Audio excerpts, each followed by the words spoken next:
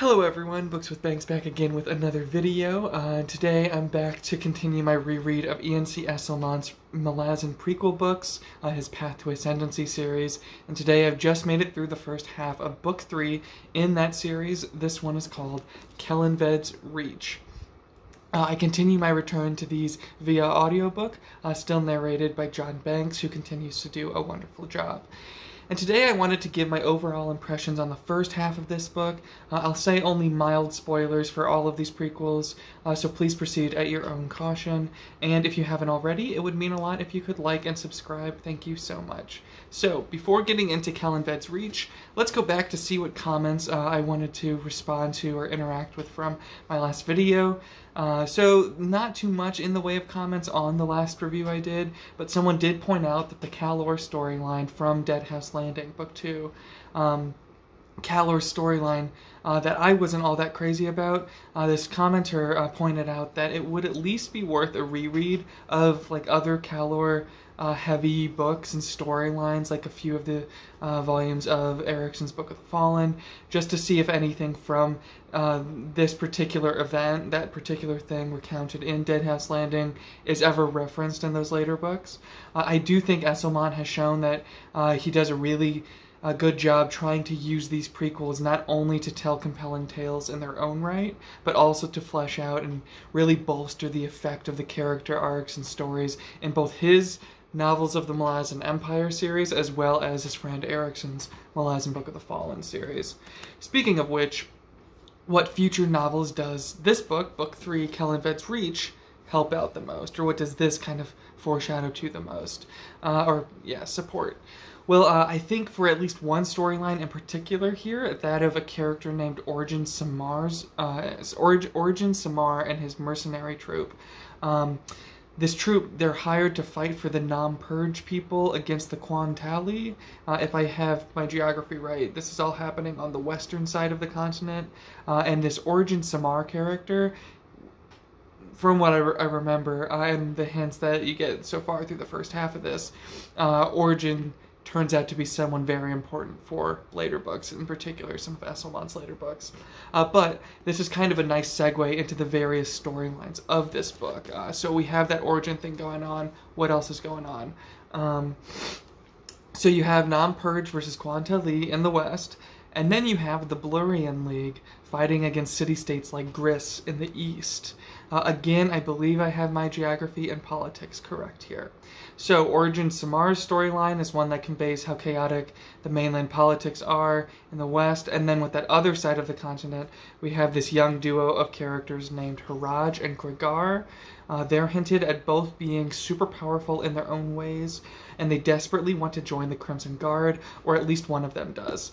Uh, but through a botched escape plan and then a series of unfortunate events, uh, they both find themselves fighting for the Yellow Regiment of the Blurian League. I think Esslemont is writing this duo extremely well. Uh, the way they play off of each other, the comedy there, uh, some of the emotion there. Uh, it's easily one of the storylines I'm most invested in of the prequel trilogy so far. Uh, but anyway, these two storylines of Orjin on the one side and the two young friends on the other, uh, they're captivating, and they both promise to basically be the subtle origin stories of a few of Esslemont's favorite characters. Uh, but they also stress the disunity and fragile political situation on the continent, or all over the continent.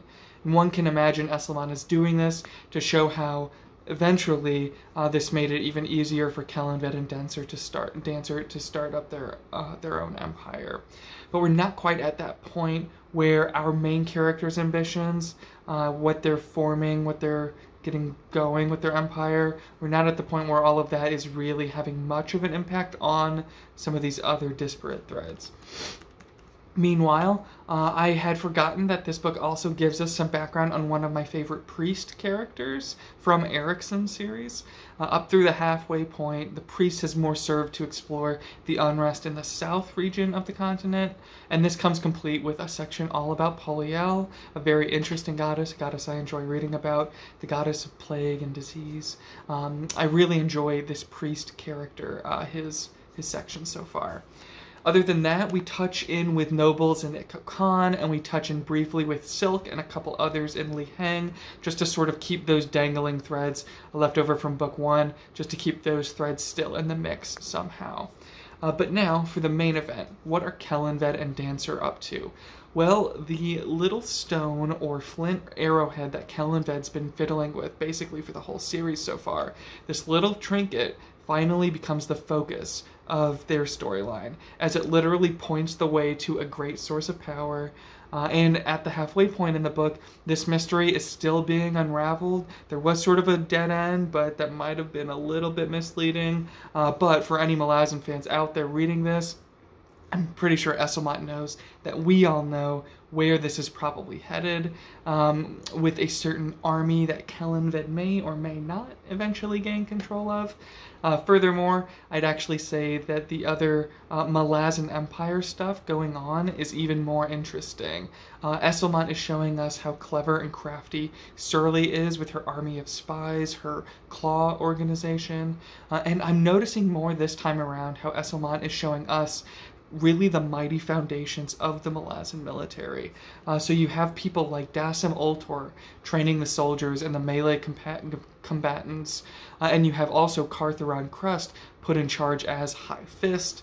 Um, these are two very uh, fair-minded uh, characters who have shown their leadership abilities. And then on the mage side of things, you have Tayschrenn putting together his uh, pretty kind of sketchy cadre of mages, uh, many of which Malazan fans will remember from all the way back at the Siege of Pale, uh, beginning of Gardens of the Moon, probably some of the first stuff that us Malazan fans ever read about, uh, some of the first characters we ever met. So, so that's really fun seeing them uh, introduced or reintroduced here. You also have Nedurian, and Nedurian is a mage, but also a veteran of the Talian Iron League, uh, League Iron Legion, forget exactly the name. Um, and Nedurian is in charge of finding other mage talents to put like one squad mage per squad.